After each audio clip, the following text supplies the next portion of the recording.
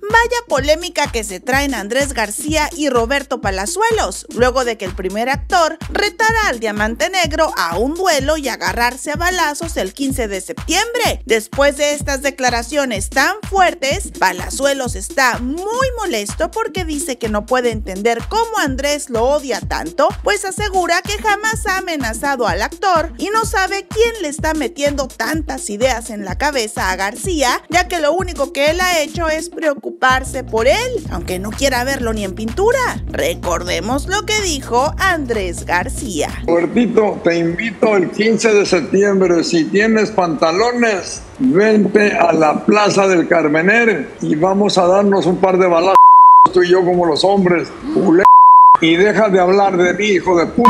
Hazte tu propia publicidad, pendejo. Tengo 100 películas, tú no tienes ninguna, cabrón. Entonces, ¿qué carajo eres tú? Un pobre pendejo engreído. Amenazó con que me iba a hacer morir de hambre y que él se encargaba de eso. A ver si tienes huevos, Betito. Se te quita los... Conmigo no andes jugando, pendejo.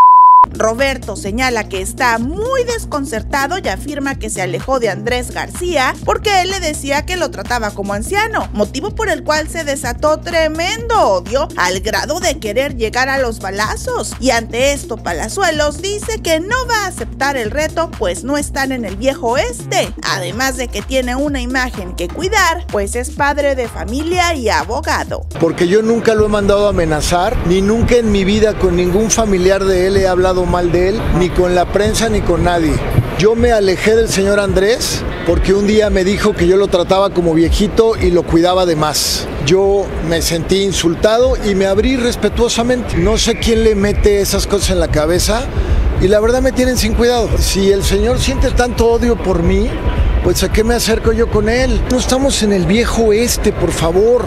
¿Tú crees que un señor como yo, padre de familia, abogado, empresario, se va a meter en una situación así. Después de las declaraciones, Palazuelos, ya sumamente molesto, aventó los micrófonos de la prensa, ya que no lo dejaban en paz después de haber emitido su postura, no sin antes dejar en claro que lo único que ha hecho es ayudar a las familias de Andrés porque tiene varias, pero este le ha pagado con puro insulto y retos a balazos. Vaya que el diamante negro ahora sí está bien enojado. ¡Qué miedo! Marisol Camacho, saboreando el chisme.